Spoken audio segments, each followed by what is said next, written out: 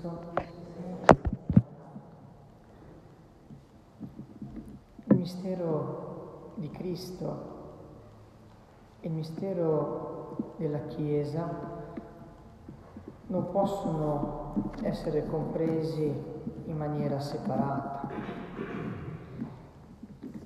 È Cristo che sceglie di comunicare tutto se stesso di comunicare i suoi segni di grazia, che sono i sacramenti, la sua parola, i suoi gesti. Cristo che comunica a questa nostra fragile umanità, a questa assemblea radunata, non dimentichiamolo che questo è il significato della Chiesa, assemblea radunata, comunità viva. Ecco, sceglie di affidare il grande mistero della salvezza, che non appartiene alla Chiesa, ma appartiene a Lui ed è suo. La Chiesa ne è custode e garante. E quando lo fa, il Signore ha la certezza di quelle che possono essere le fatiche, perché questa comunità è composta da una dinamica umana, quindi segnata evidentemente dalle conseguenze del peccato, da una evidente fragilità nei suoi membri. Ma egli comunica, lo vedremo bene al termine del tempo pasquale, comunica il suo spirito che è garanzia della sua presenza. Le ultime parole che Gesù dirà ai suoi, io sono con voi tutti i giorni, sino alla fine del mondo. Dopo aver dato loro il mandato, andate ad annunciare il Vangelo, battezzate tutte le creature, annunciando e insegnando tutto ciò che io vi ho detto. E dice, io sono con voi.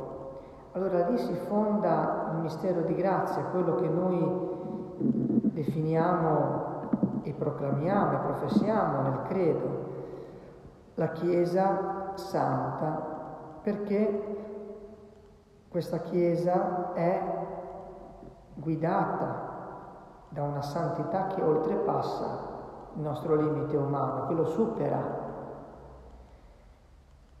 E è evidente come la Chiesa diventi un segno, un segno che deve far permeare la presenza di Cristo, farla trasparire, farla percepire, non soltanto attraverso i sacramenti che essa celebra e la parola che annuncia, ma come giustamente il numero 8 di Lumen Gentium ci ricorda, con una attenzione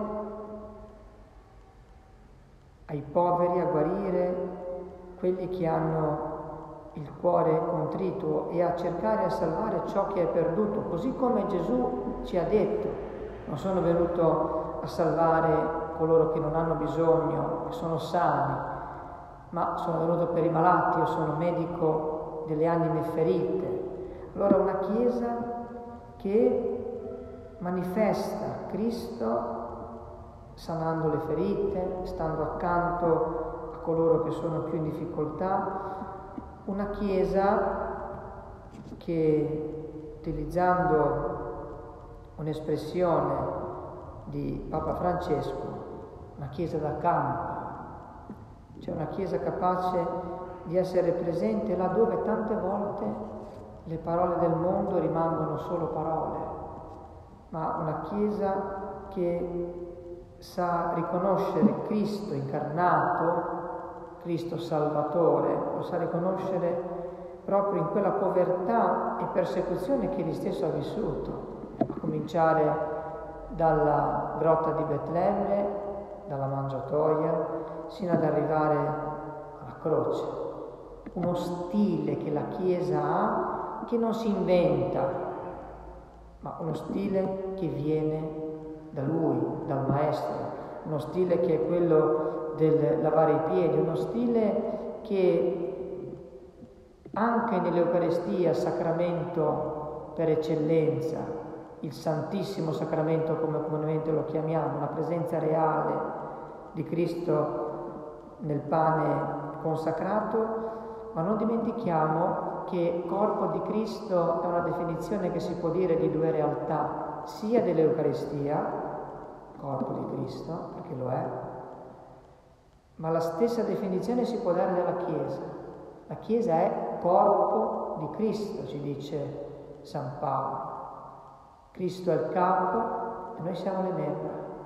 Allora quel corpo che noi riconosciamo lì, vivo, lo stesso corpo che Maria ha portato nel grembo, che ha concepito, partorito, che ha dato alla luce, che ha allevato e visto crescere, visto morire, visto risorgere, è lo stesso corpo che noi formiamo, che i fratelli e le sorelle formano. Allora la giusta adorazione che noi diamo all'Eucaristia, ecco quell'adorazione la dobbiamo riservare anche al corpo di Cristo che è la Chiesa, cioè i fratelli e le sorelle che compongono la comunità, che rimangono mistero tanto quanto l'Eucaristia.